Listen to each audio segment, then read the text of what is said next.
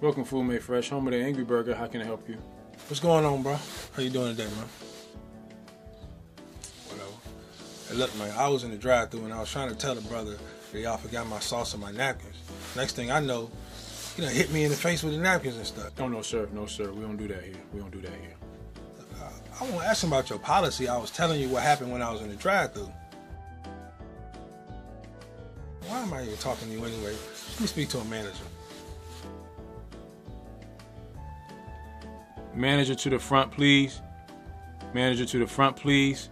We got an angry man. One second, sir.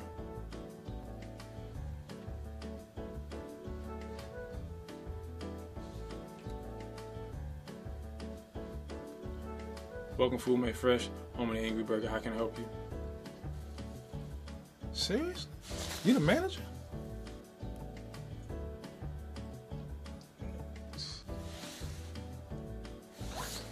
Whatever, man.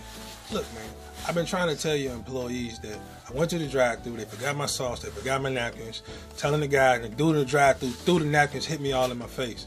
Oh no, sir, we don't do that here. We don't do it here. That's number one rule. Never forget napkins and sauces.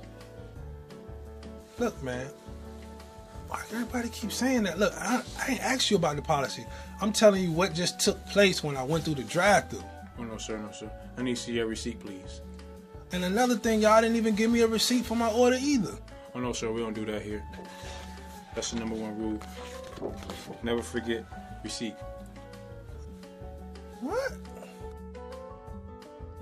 Look, it's been a long time, man. I'm kind of late the way I'm supposed to be going. Is anything y'all can do to compensate me for my inconvenience? Sir, the best I can do is get you two double cheesy dogs for nine ninety five. Shit, double dog. Ain't that the regular price for them? Man, I ain't got time for this, man. Yo, you got a phone number or something I can call corporate?